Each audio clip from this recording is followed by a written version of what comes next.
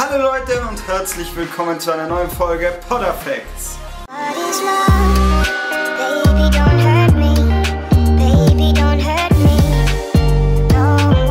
Ja, Zuverlässigkeit.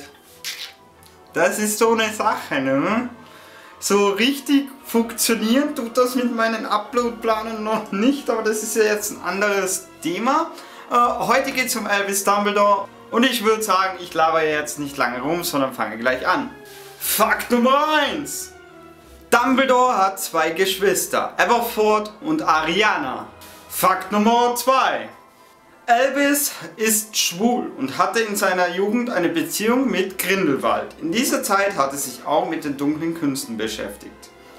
Hm, an dieser Stelle stellt sich mal die Frage, wenn ich mich mal mit den dunklen Künsten beschäftigen würde, wie wäre das denn?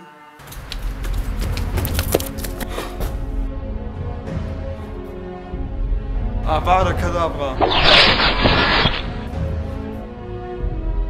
Nein, das wäre nicht meins, denn ich morde nicht gerne dieser Dreck, der da immer rumliegt. Nein, nein, nein, das wäre echt nicht meins. Ja, wie dem auch sei, ich würde sagen, wir machen jetzt mit Fakt Nummer 3 weiter. Zu Dumbledores größten Entdeckungen zählten die zwölf Anwendungen für Drachenblut. Außerdem hat er zusammen mit den Alchemisten Nicolas Flamel den Stein der Weisen hergestellt.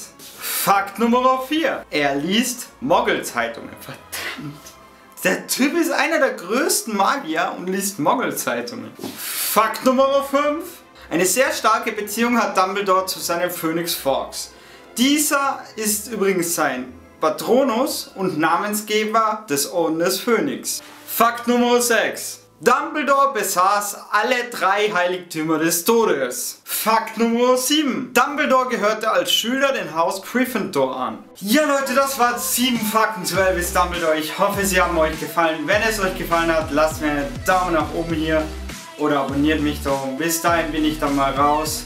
Bis zum nächsten Mal.